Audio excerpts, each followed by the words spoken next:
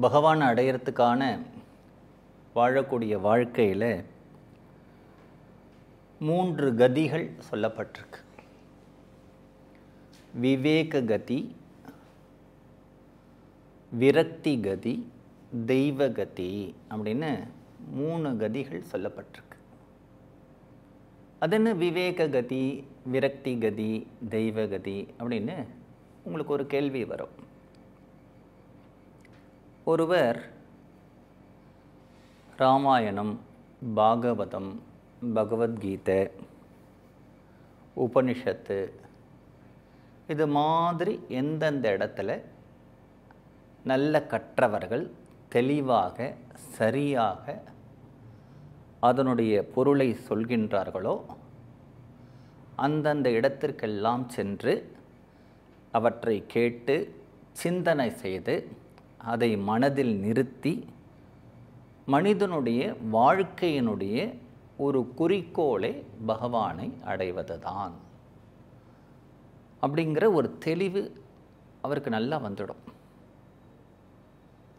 The purpose of the life is to realise the self தன்னைத்தானே உணர வேண்டும். அதற்காக தான் இந்த அருமையான மனித பிறவி உனக்கு கொடுக்கப்பட்டிருக்கின்றது.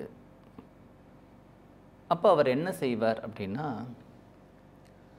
திட்டும்னு நான் துறவியாரேன் திட்டும்னு நான் குடும்பத்தை விட்டுட்டு போகிறேன் நான் கங்கை கரைக்கு போகிறேன் அப்படிங்கிறதெல்லாம் பண்ணாமல் வீட்டிலேயே இருந்துட்டு டெய்லி காலையில் ஒரு அரை மணி சாயங்காலம் அரை மணி இப்படியே தியானம் பண்ண ஆரம்பிப்பார். நாம ஜபம் பண்ண ஆரம்பிப்பார். நேரத்தை வந்து பொழுதுபோக்கு சாதனங்கள் இப்படிலாம் செலவழிக்கிறத குறைச்சிப்பார்.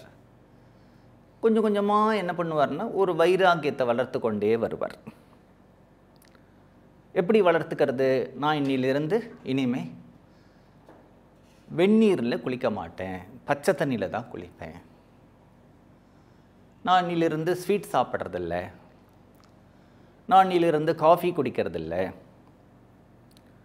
நான் இன்று முதல் வந்து ஏசி இல்லாமல் படுத்துப்பேன். இப்படி சிறிது சிறிது சிறிதாக தன்னுடைய ஒரு பக்குவத்தை வளர்த்து கொண்டு அதே சமயத்தில் தன்னுடைய தியானம் ஜபம் அதையும் அதிகப்படுத்தி கொண்டே அதுக்கு அடுத்த நிலையில் நான் இனிமேல் யாருக்கிட்டேயும் கோபப்பட மாட்டேன். உபயோகம் இல்லாத வார்த்தைகளை பேச மாட்டேன். நான் பிறர்கிட்ட குற்றங்களை கண்டுபிடிக்க மாட்டேன். இப்படி கொஞ்சம் கொஞ்சமாக தன்னை பக்குவப்படுத்தி தன்னுடைய குழந்தைகளெல்லாம் கல்யாணம் பண்ணி கொடுத்து அவர்களெல்லாம் வேலையில் செட்டில் ஆன பிறகு திரும்பவும் இந்த குடும்பங்கிற பந்தத்தில் உழலாமல் தன்னை அதிலிருந்து தனிமைப்படுத்தி கொண்டு முழுவதுமாக எவ்வளவுக்கு எவ்வளவு முடியுமோ அவ்வளவுக்கு அவ்வளவு தியானத்தையும் ஆத்ம குணங்களையும் வளர்த்து கொண்டு அவர் வந்து அப்படியே ஸ்லோ அண்ட் ஸ்டெடியாக பகவானை அடைவார். அதுக்கு விவேக கதி அப்படின்னு பேர்.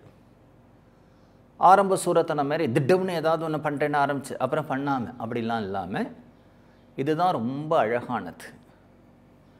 ஸ்டெடியாக போகணும் அதே சமயத்தில் ஒரு ப்ராக்ரஸ் இருந்துகிட்டே இருக்கணும் அடுத்தது வைராகிய கத்தின்னா வாழ்க்கையில் ஒரு ஏதாவது ஒரு துக்கம் ஏற்படும். இப்போ பரீட்சத்துக்கு ஏற்பட்டது இல்லையா பாகவதத்தில்? ஏழு நாளில் உனக்கு தக்ஷகண்கிற பாம்பு கடிச்சு நீ உயிரை விட போகிற அப்படின்ன உடனே பரீட்சத்துக்கு ஒரு வைராகியம் வந்துடுத்து என்ன இருந்தாலும் ஏழு நாளில் நம்ம செத்து போகிறோம் அந்த ஏழு நாட்களுக்குள்ளே மனித வாழ்க்கையினுடைய லட்சியம் என்ன? பகவான் எதற்காக நம்ம படைத்தான்? மோட்சம் அடையிறதுக்கு தானே படைத்தான் அதை அடையிறதுக்கு என்ன வழின்னு தேடிட்டு கிளம்பிட்டான் இல்லையா? அது மாதிரி சில பேருடைய வாழ்க்கையில் புத்திர சோகம் ஏற்படும் நம்பிக்கை துரோகம் ஏற்படும். இல்லைன்னா வியாபாரத்தில் பெரிய நஷ்டம் ஏற்படும். இந்த மாதிரி ஒரு துக்கம் ஏற்படும் பொழுது அந்த துக்கத்தை தாங்க முடியாமல் இந்த உலக வாழ்க்கை என்ன இருந்தாலும் துக்கமானது தான் அப்படின்னு ஒரு முடிவு கட்டி இறைவனை தேடிட்டு வந்து அப்புறம் அவர்கள் பகவான் அடைவா. இதுக்கு பாகவதத்திலேயே நமக்கு இருக்கக்கூடிய பிரமாணம் பரீட்சித்து. அப்புறம் கஜேந்திரன். அவனை அந்த முதல்ல பிடிச்சி இழுக்கும் பொழுது அந்த பிராண சங்கடம். அத்தகைய ஒரு துக்கம் சம்பவித்த உடனே அந்த துக்கத்தில் பகவானை நோக்கி அலறான் அப்படின்னு வருது. அந்த மாதிரி வரக்கூடியதுக்கு வைராக்கிய கதி அப்படின்னு பேர். ஒரு விரக்தி கதி. ஏதோ ஒரு சம்பவத்தினால வாழ்க்கையில் விரக்தி ஏற்பட்டுடுறது. விருப்பு வேற விரக்தி வேற. விரக்தினா என்ன அப்படின்னா நம்ம கிட்டக்க எல்லாம் சாப்பிட்றதுக்கு பொருட்கள் இருக்கணும் ஆனால் சாப்பிடாம இருக்கணும். வசதியாக வாழறதுக்கு வாய்ப்புகள் இருக்கணும் ஆனால் வேண்டாம்னு இருக்கணும். வசதியாக வாழறதுக்கு வாய்ப்புகள் இல்லாததுனால வேண்டாம்னு இருந்தக்கூடாது அல்ல அதெல்லாம் எனக்கு பிடிக்கல. வெறுப்பு வரக்கூடாது. இது வேண்டாம் ஏன் அப்படின்னா இதை விட உயர்ந்த ஒன்று நான் அடையறதுக்கு இது தடை அப்படிங்கிறதுனால ஒரு வைராக்கியத்தோடு அதில் நம்ம ஈடுபடாமல் இருக்கிறதுக்கு தான் விரக்தி வைராக்கியம்னு பேர். இது எனக்கு பிடிச்சிருக்கு ஆனால் நான் அதை வேண்டாம்னு வைக்க போகிறேன் ஏன்னா இதை வேண்டாம்னு நான் வச்சாதான் இதை விட எனக்கு ஒன்று பெருசு கிடைக்கும்.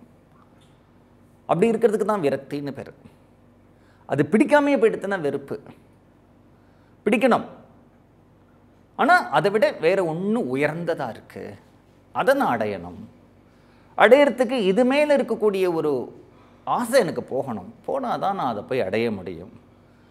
அப்படின்னு போகிறதுக்கு விரக்தி கதி அப்படின்னு பேர். தெய்வ கதி அப்படின்னா சிலருடைய வாழ்க்கையில் அவர்கள் பகவானை அடையணும்னு ஆசைப்படாத பொழுதே தெய்வம் வந்து அவர்களை தடுத்து ஆட்கொள்ளும்.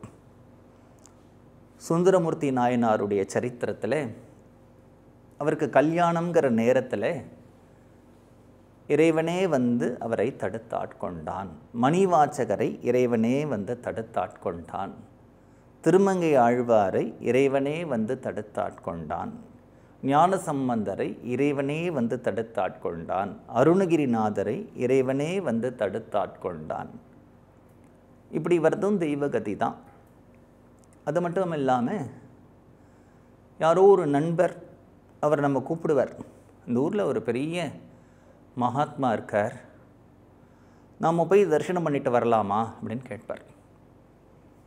அதுக்கு முன்னாடி நமக்கு தெய்வம்னா என்னென்னு தெரியாது மோட்சம்னா என்னன்னு தெரியாது.